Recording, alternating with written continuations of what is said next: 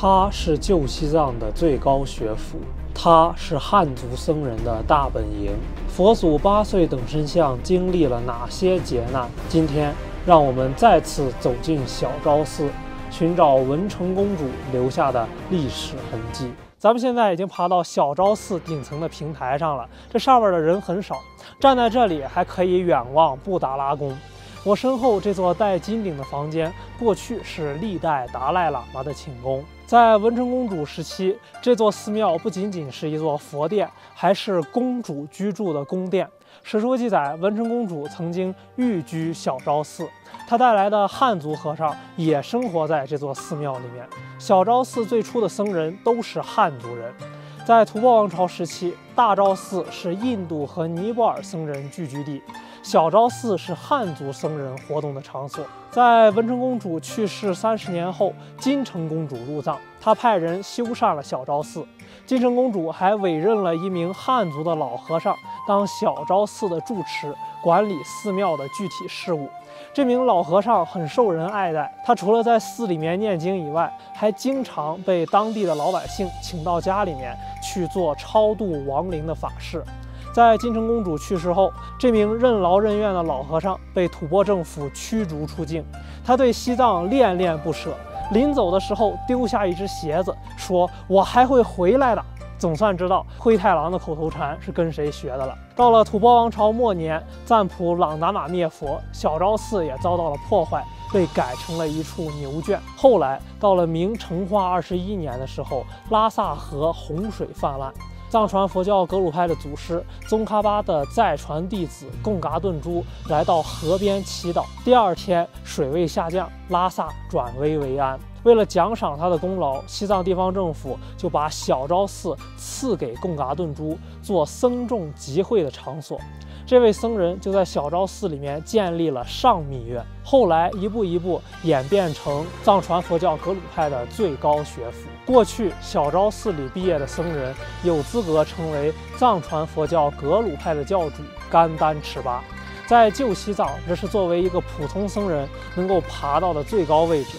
如果他们幸运的话，还有可能成为西藏地方政府的摄政，一人之下，万人之上，掌管全西藏的政教大权。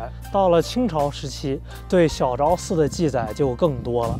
成书于乾隆初年的《西藏志》就记载，小昭在大昭北半里许，名曰喇木切，坐西向东，背布达拉，楼高三层，上有金殿一座。唐公主建，这里的唐公主指的就是唐朝的文成公主。在乾隆年间，小昭寺的金顶已经修建完工，而且规模还不小，鸟阁翠飞，泛金作瓦，殿上金瓦光辉夺目。咱们今天见到的小昭寺里面，并没有保存多少件文物，因为它在上个世纪六十年代遭到了毁灭性的破坏，墙上的壁画被毁。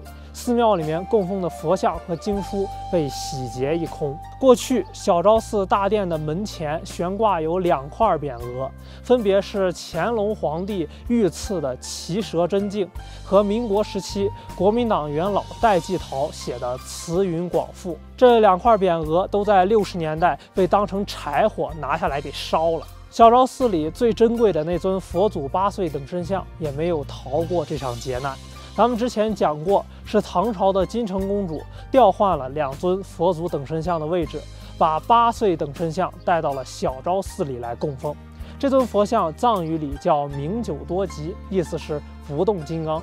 明朝末年的时候，丽江的木氏土司给等身像敬献了一尊银鎏金的大佛龛，上面装饰着各种奇珍异宝，当地人就把这座佛龛叫做金银宝殿。可惜也毁于运动中，里面供奉的佛祖八岁等身像，双眼被挖掉，整座佛像拦腰截断，被人劈成了上下两截。佛像的上半截三十六公分，下半截八十公分，下半截一直躺在拉萨废品公司的回收站，直到运动结束。